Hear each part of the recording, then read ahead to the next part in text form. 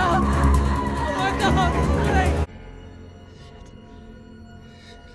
We have to keep going. We don't want to end up.